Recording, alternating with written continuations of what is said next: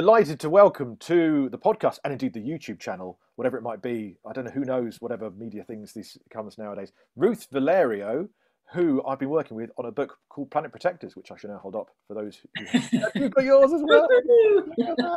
yours so like, well matched. It is, isn't it? Yours is more orange than mine. Clearly, the daylight here is too bright. Huh, yeah.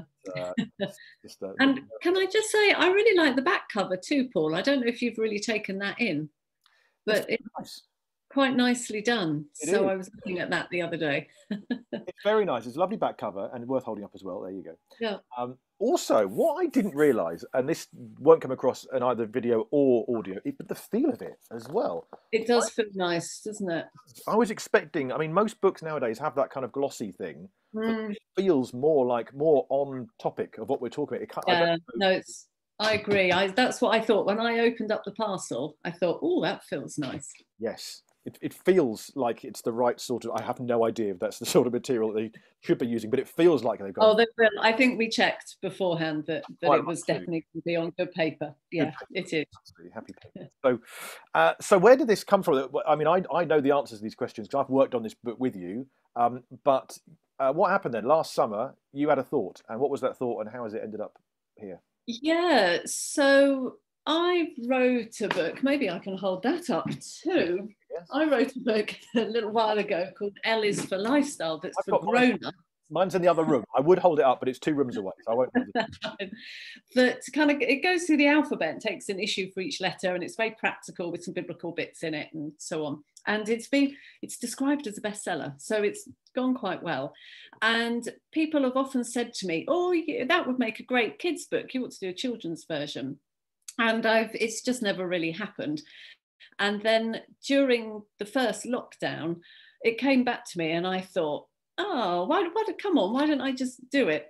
So then I thought, because I'm not a children's writer, so I thought I, I hate to tell you, but you now are. That's, that's, that's true. That's true. I wasn't a children's writer. but I thought I need someone brilliant and funny who can help me with it. And so, of course, who came to mind but your good self? So I dropped you a note and said, Would you like to work with me on a children's book?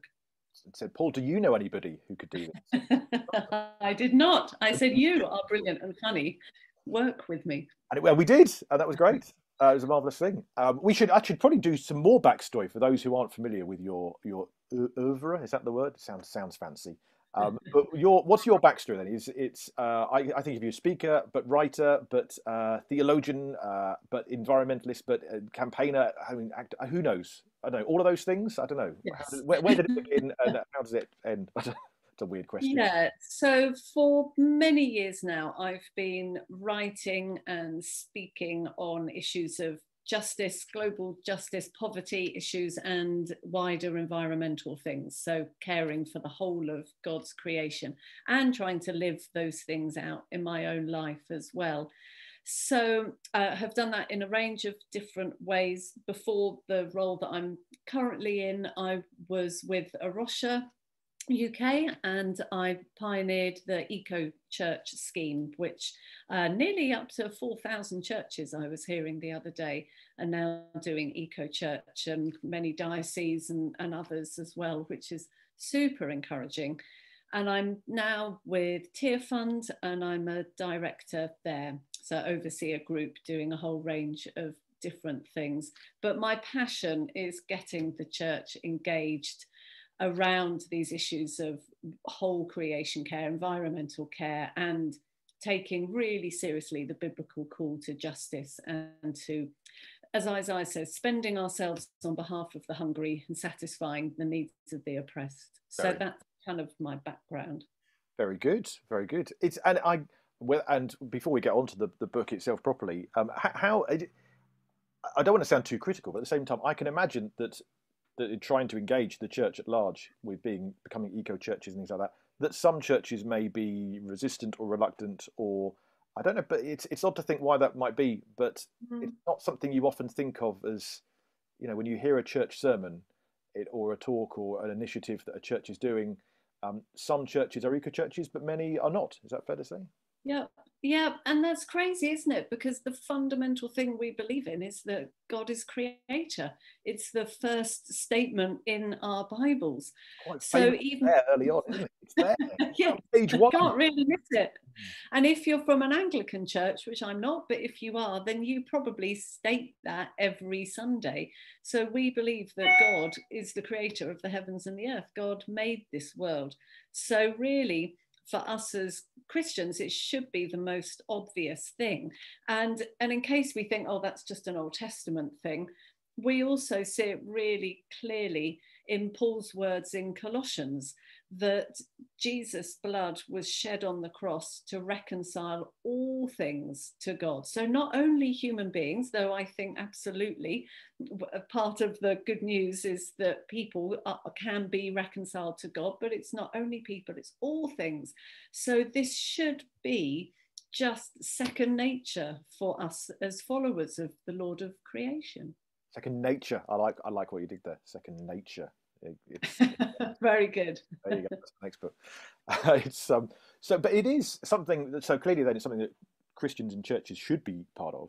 But those people, it seems today. I mean, I'm thinking of almost the, one of the oldest, one of the young, you know, your Greta Thunberg and your David Attenborough, uh, two ex- different extremes yeah. of life potentially, yeah. um, are mm. kind of, I don't know. It sort of seems like they are. I don't want to say preaching because that does give a wrong connotation, perhaps, but they are kind of leaders of today, almost prophets, one mm. could say, in a secular way, looking ahead, saying this is how things could be, but neither from a religious background particularly, but engaging young people, it would seem, uh, and uh, and hopefully many adults. But it seems that young people, particularly, maybe are joining this whole movement that's getting behind this yeah. in a different way. Yeah, and uh, it's brilliant seeing them doing that. So so encouraging, and uh, and I'm so grateful both that David Attenborough is now speaking out so clearly and for Greta Thunberg and all that she is saying.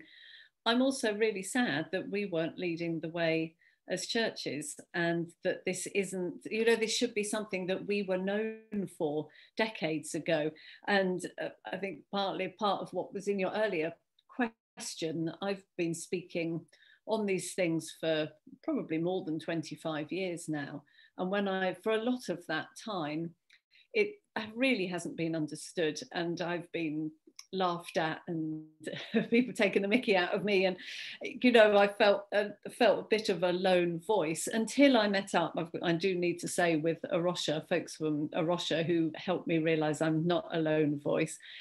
But for quite a bit of that time i've just felt like i've been pushing water uphill thankfully, that isn't the case anymore. And over recent years in our churches, we've been really changing and really coming to understand that we've got to be engaging with the climate crisis. We've got to be engaging with species loss, with plastic waste, and so on, not just because this is an interest in the secular world, but because it is part of our Christian faith.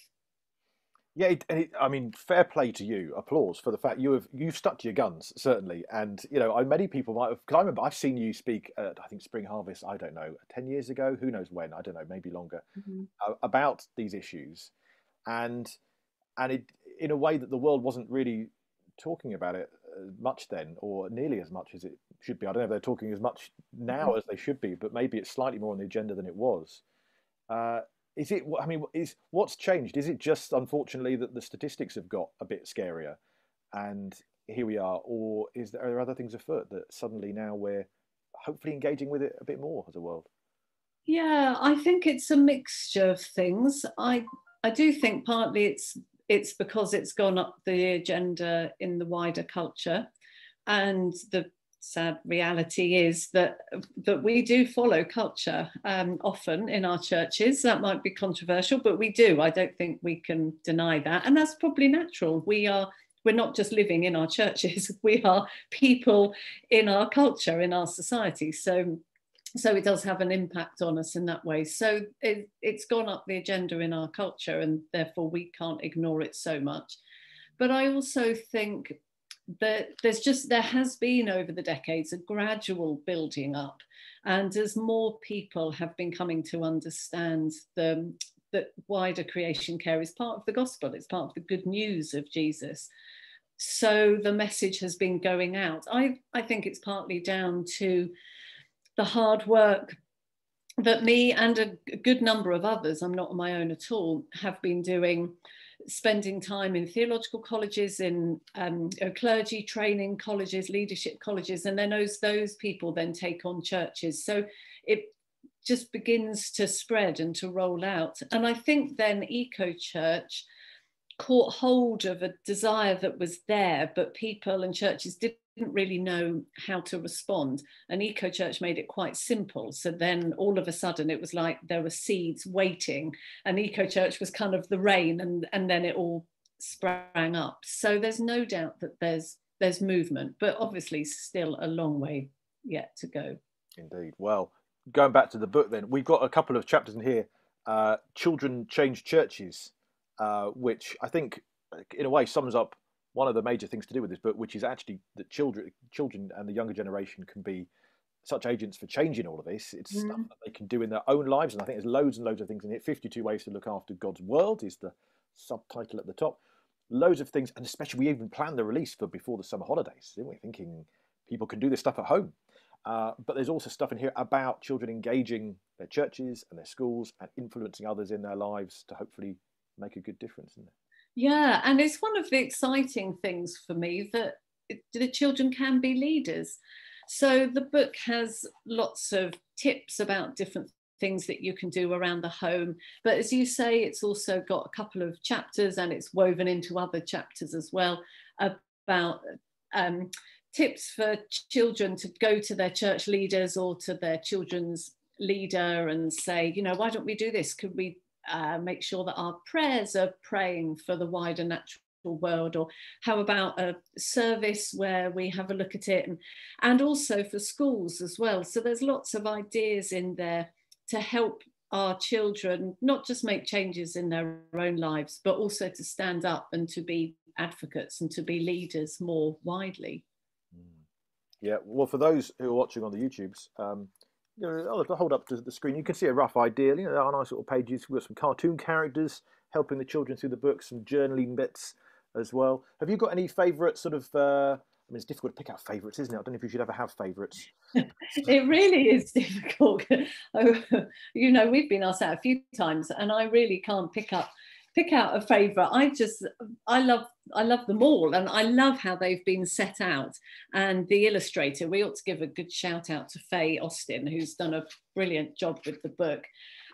I I mean, it covers so many important issues. So I've just randomly opened up the book and it's come to tip number 20 called Cotton On, which is about our clothes and thinking about where our clothes or what our clothes are made from and how to source our clothes in a better way. Then this one is stargazing, which is simply about, it's not really a tip for something to do, it's just about getting outside when it's dark looking up if the if the if it's a cloudless night and seeing what stars you can see. And as you know we wanted to put things in the book that weren't just around practical things but were about helping our children and families to fall in love with the world that's around them to get out and look at the sky to look at the grass and see what insects are there and, and just to fall in love what is with what's around us Absolutely. I think, and it, hopefully, yeah, it's rather just a, a, checklist of, you know, we can do this, can do that. Uh, but a whole new way of looking at the world uh, is, you know, the one that you held up a minute ago was as well number 10, Welcome, which was, I think, was a lovely one. Just that idea of about looking out for children at school who are from different cultures and backgrounds. And, uh, and schools all the time are taking in new people from new countries who need to be welcomed. And the world with next to Zoom and things that we're now talking on here is feels like it's shrinking to a point. Yeah and, uh, and hopefully things like this can help us realize. Yeah. And it's good for picking that one out because I think that illustrates that the book and the tips aren't only around what we might call environmental things. They do also encourage us to be thinking about other people and particularly people living in poverty. So there's one one tip in here around twinning your toilet. And that is a, a great way by which we can think around how amazing it is that we have wonderful toilets and the fact that a lot of people around the world don't have that but we can give a little bit of money and we can twin our toilet and that will help someone in a very different situation to have a better toilet so you know there's tips that are about people as as well as being about planet and we've also got some some real life planet protectors as well, haven't we? We uh, have. Yes. So people who children, actual real real life children who are making a difference, and uh, and I think that was a really nice thing to as well to have to show this isn't just us as as as adults going, hey, here's some ideas, kids, but actually children who are really showing us what they can be doing. Yeah, and doing some amazing things. You know, two sister, uh, sister, sister, and brother who've pushed Portsmouth Council to be plastic free, and you know, some some really quite inspiring little young little is the wrong word some really quite inspiring children in there and the stories of what they're doing. Yeah well i think um, there's little more to say other than people should get this book obviously and uh, it's um, and, and, I think you know there, there is a I know people publishers often say hey you can buy in bulk and uh, and you know it's cheaper that way. But this is I think one book that actually with youth groups and church groups and schools and things that it can make a real difference, I think. And I'm excited to, to think that even though we're only a week in to the book being out there, but um, already you're just seeing enough people picking up and, and talking about it. And the more people talk about it online, so if you've got a copy, talk about it online, share it, review it, all that sort of stuff, because it helps others get it. And those kind of seeds then get spreaded. Get spreaded. That was a terrible way of ending that. Otherwise, I think pretty good sentence. Never mind. but also, I think you mentioned at the beginning that it's nearly the school holidays. And I think, again, we're facing a slightly different school holiday, aren't we? We're not going to be doing so much traveling. We'll be having a lot of holidays from home. And this will give a whole load of ideas for different things that our families can be doing. There you go. The book is Planet Protectors. Uh, or especially audio people, if you're listening on the podcast, I've been incredibly visual on this one and just oh, doesn't it look really good? Oh, you can't see it. No, it's called Planet Protectors. It's published by SPCK. We'll put a link in the show notes and that sort of thing. Um, and and thanks for getting me on board with this because this was a great thing to be doing last year in in lockdown. Oh, well, it's, yeah, it's been a pleasure to work with you. I've very much enjoyed it. Fantastic. Well, excited to see where it goes from here and indeed. And, what, what's next for you then? If you must be moving on to other things then, and not moving on to other things, this is on its way, but the writing is done of this now. So, yeah. uh, where, what does the future hold then, apart from obviously book two and the spin off film and the TV series waiting to hear about? Yeah, well, not another book yet.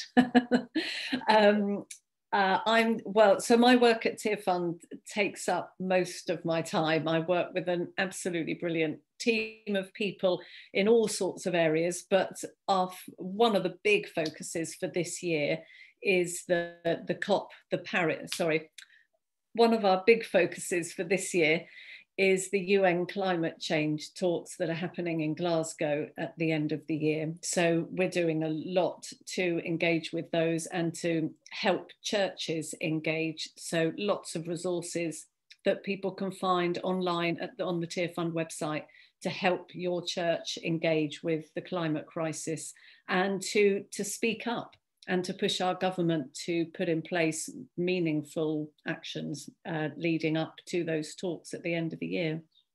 Great. Well, I'll put some links to those as well in the in the notes uh, uh, as well, and we'll let you get back to work then because you've got plenty to do. So, uh, so, yeah, thanks, thank you. Thank you again for having us on board with this. Planet Protectors, get your copy now, and thank you, Ruth Valerio.